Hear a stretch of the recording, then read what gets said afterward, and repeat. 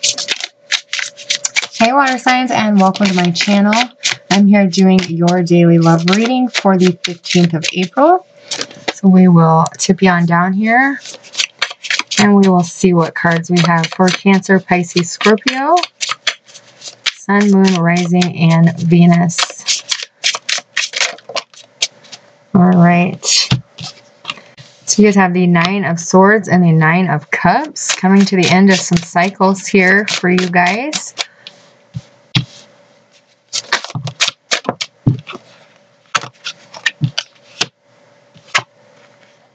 All right.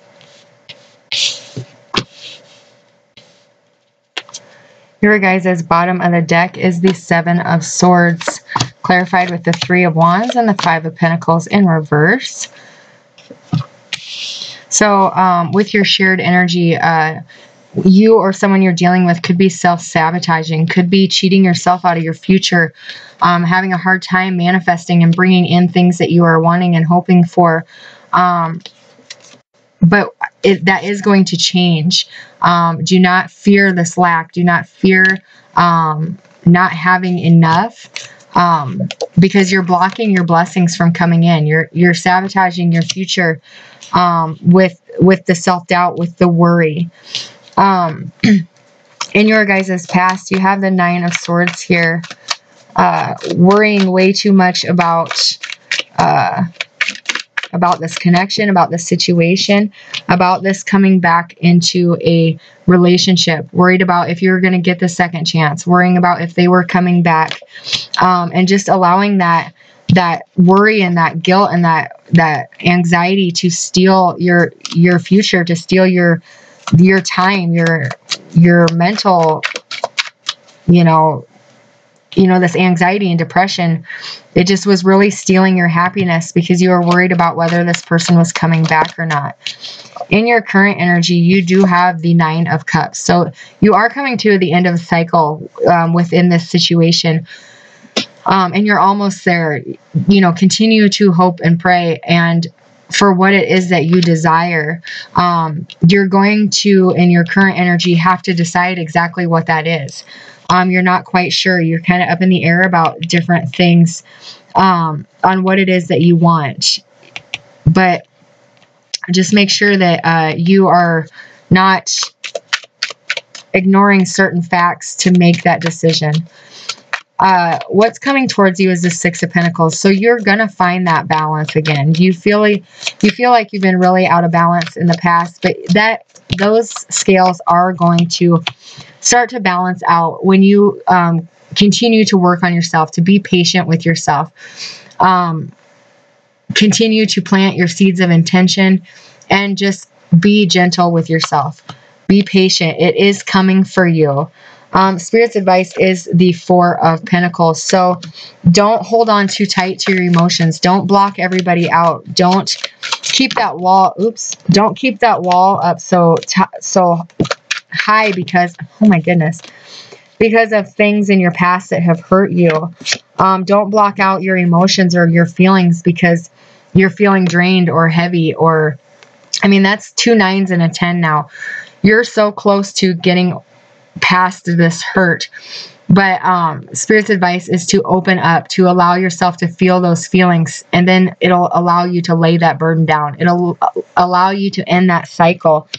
And if you do do that, if you do open up and deal with your heart and deal with your emotions and the hurt, and to continue to work on yourself, um, and lay this burden of this past feelings down, you do have a second chance with somebody coming in with that judgment card in your overall um, outcome if you follow Spirit's advice. Why is a judgment card here?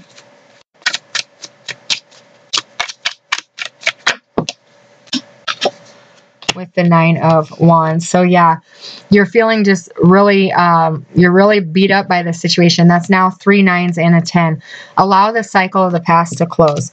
Allow yourself to feel those emotions. Allow yourself to deal with the heartache and the hurt um, of what happened in the past and put that down end that cycle allow that to come to a close Decide what it is that you truly want and are hoping for in your current energy.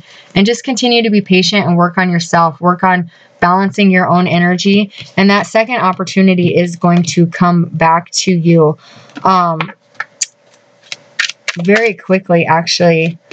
Yeah, you're going to get that new beginning with your overall um, energy you're going to get that second chance. You're going to get that uh, new passionate beginning with the person that you are are waiting for, but you have to deal with those emotions first. You have to deal with those um, those things that you've been burying deep inside. So let's get um, some future cards here for our water signs.